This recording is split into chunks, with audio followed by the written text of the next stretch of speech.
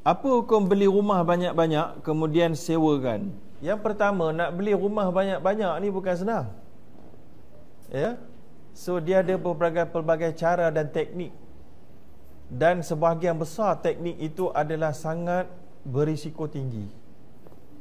Yang biasanya kalau gagal dia akan menenggelamkan kita dalam hutang yang patut kita jauhi. Satu rumah pun dah tenggelam, ni banyak rumah lagi dah tenggelam. Kan? Kita doa pada Allah supaya Allahumma inni a'udzubika minal ajzi wal kasal wa a'udzubika minal jubni wal bukhli wa na'udzubika min ghalabati daini wa qahri rijal. Kita berdoa pada Allah SWT untuk jangan dighalabati dain, ditenggelami oleh hutang. Maka rumah di Malaysia adalah antara yang sangat mahal sebab harga rumah yang ideal dalam sesebuah negara adalah 56 kali ganda daripada gaji bulanan kita. Ha, cuba kira berapa. Eh? Kalau tak boleh capai lagi tu maknanya tak berapa cantik lagi suasana ekonomi di negara tersebut. 56 kali ganda daripada gaji bulanan. Tapi kita punya adalah beratus kali ganda daripada gaji bulanan lah. So untuk beli rumah secara banyak ni Antara cara yang orang-orang buat adalah dia mestilah dikiranya kalau dia tu orang awal-awal lagi belum ada apa-apa tanggungan, dia beli sekali banyak.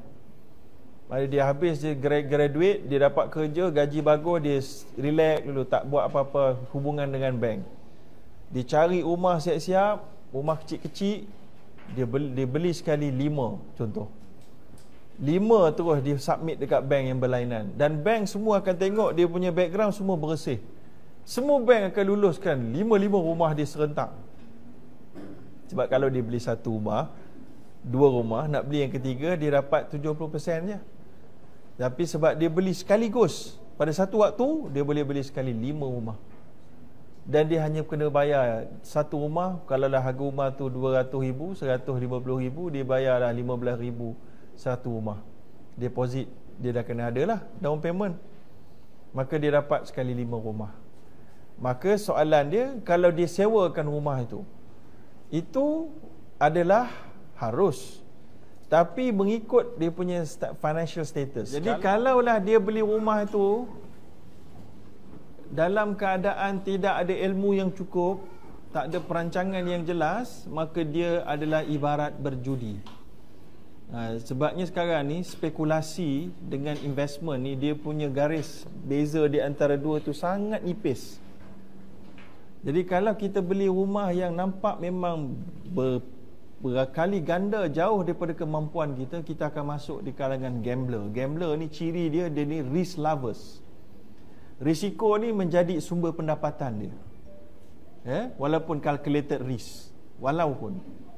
Ha, tapi itu sumber pendapatan dia dia berbanding dengan orang investment. Investment dia memang nak buat something yang ada value. Boleh create growth. Ya? Yeah? boleh create wealth. Tapi dia create wealth pada diri dia sajalah. Dia bukan create ada kerjaya ke ada orang akan dapat ada kerja tak. Dia dia seorang so jadi itu ada ada syubhatnya. Maka sebab itu bagi saya uh, dalam keadaan ekonomi Malaysia begini dan pendapatan seseorang itu tidak begitu stable, dia kena pastikan kalau dia nak beli rumah lagi banyak daripada dua rumah, maka dia jangan sampai uh, ni sebenarnya tak ada benchmark lagi. Saya pun tak boleh nak bagi jawapan absolut berapa puluh kali ganda ke ya. Uh, tak tak buat kiraan lagi.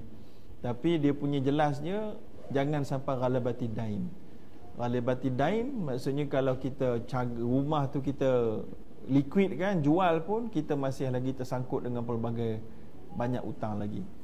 Jadi itu adalah benda yang yang yang syubhat boleh berlaku di situ. Ya?